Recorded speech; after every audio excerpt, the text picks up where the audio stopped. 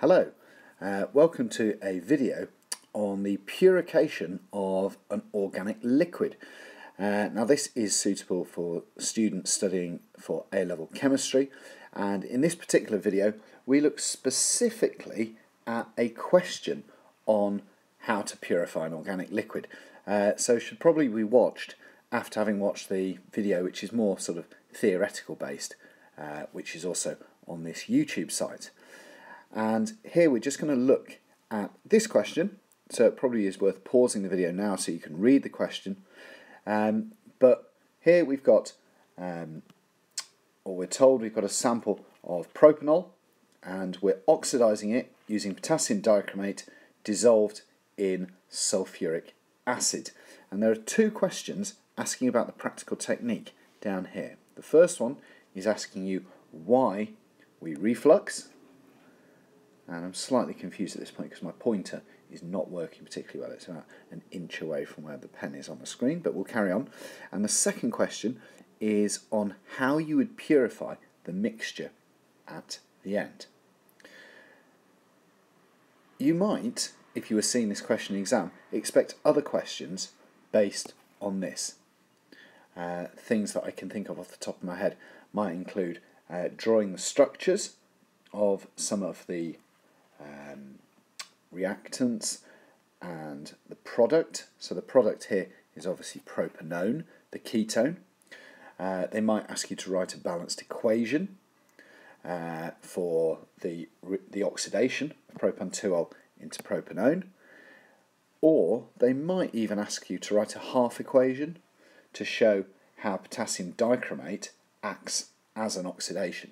So as you're revising, um, these are all the kind of things that you should be thinking of, um, which and sort of second guessing what the examiner is going to ask you. I'm not going to go into that now. I'm going to go into these two points here. You also have some data which you might need to use, and they're on densities. And it does say you may need to refer to the data below. If you're given data, you're definitely going to need to refer to it. Right, let's get on with it. Okay, so the first half of the question is asking us to describe what is meant by the term reflux and is asking to explain why it is used. And I thought it would be helpful here if I actually included a diagram of a reflux setup. And don't be surprised if you're expected to actually have to draw something like that in the exam. Down here we'd have heat, and there's something really wrong with the pen that I'm using uh, on this screen. Uh, you need to make sure that you label the water going in and the water coming out of the condenser and you also need to make sure that you don't put anything in the, the top of the condenser. The system needs to be open. And then if we're going to describe um, what is meant by the term reflux, I would talk about the condenser being in the neck of the flask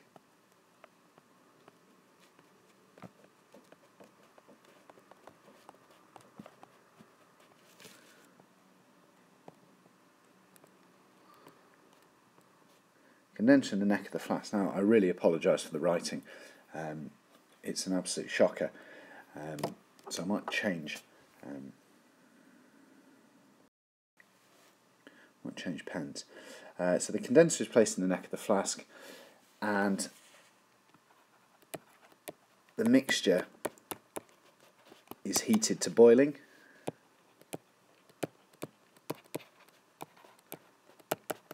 for a long time or yeah, for a prolonged time. So it's not just done for five minutes, it might be done for 30 minutes.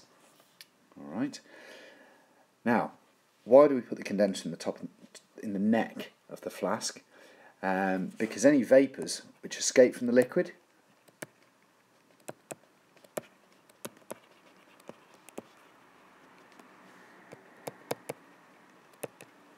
Uh, they condense and are returned to the flask.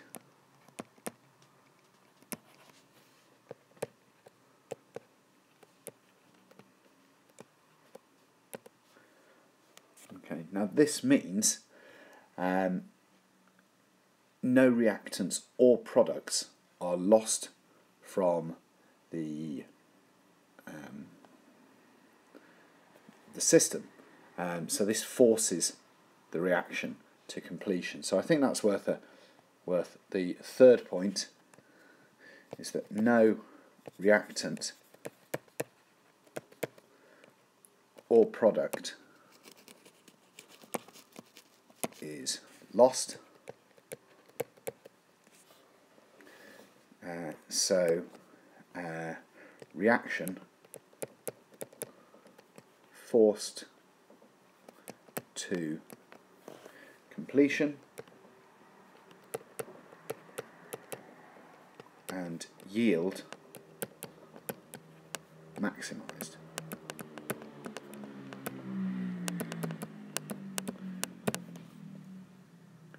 I'm going to pause that and try and fix the screen and see if I can do anything. So those are the three points uh, that I was going for. Um, the condenser is placed in the neck of the flask and the mixture is heated for a prolonged period of time. Uh, any vapours which evaporate and escape from the liquid are condensed and are returned to the flask. And this means that no reactant or product is lost through evaporation, so the reaction is forced to completion and you get a maximum yield. Now, we need to describe how, after we finish the reflux, how we purify our product. Because at the moment, our product is will be sitting in this flask here. So how do we get the product out, and then how do we make it pure? So, as I just explained, how are we going to obtain our pure product from the reaction mixture, which we're left with at the end of the reflux? So we turn the heater off, we let the mixture cool down, and then we reassemble that apparatus and add a bit more to set up a distillation. And this is what the examiner really wants to see the diagram of. So I could have just picked a picture off the internet uh, and annotated it for you, um, but you're expected to draw it. So you need a sharp pencil, you need a ruler, you're going to have to label it. Now, given the problems I'm having with the pen, uh, this could be interesting, but I wanted to actually draw it for you. Um, not because I'm a great drawer, as you will see, um, but because there are certain points that I want to highlight. Um, so I'm doing my utmost to make this as neat as possible, but obviously I'm doing this without a ruler, and I've already made a slight error um, down here, uh, because what I'm drawing down here is a condenser and it's going to be a tube which goes up here. And here's the outer jacket of the condenser.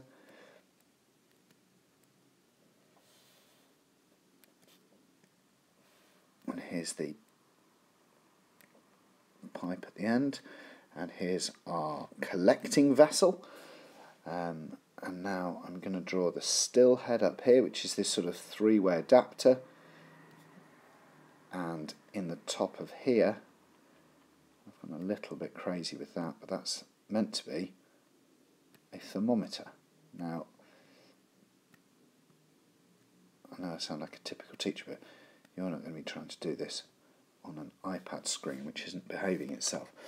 Um, so I've done an okay job. It looks actually terrible. Um, and if I saw that in a test paper um, I'd be having words with the student. Um, but I think you get a general idea. Um, it's really important that you label everything on here because let's just say your drawing is as bad as mine. Uh, you want to make sure that the examiner can see what's going on. So this is the condenser.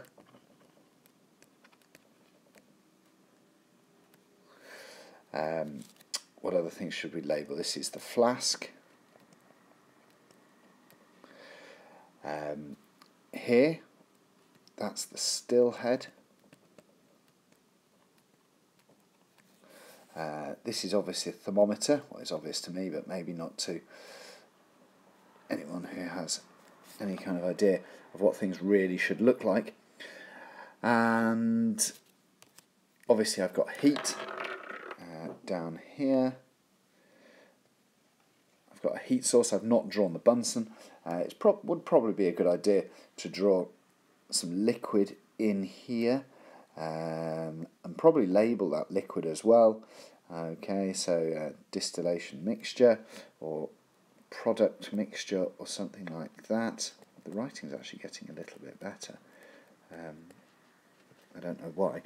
Um, and other things I should point out to you on this diagram are that when you're heating your liquid in here, the vapour is going to evaporate.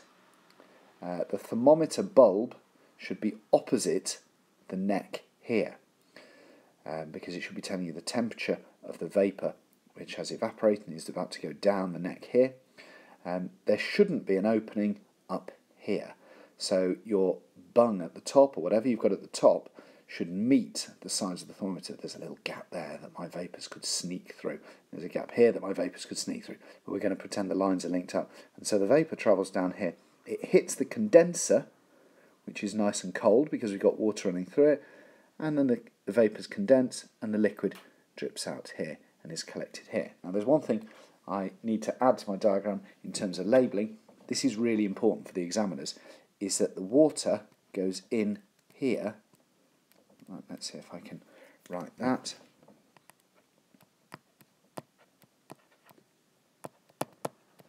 So H2O in, H2O out, up there. It's really important that you get that the right way around. The water goes in at the bottom and it comes out at the top. Um, and that there's an angle as well. I mean, these are things that sort of, when you've been doing it for a while, you do it automatically. And um, if the condenser is flat, the, the liquid, when it condenses from a vapour, just sits in the condenser.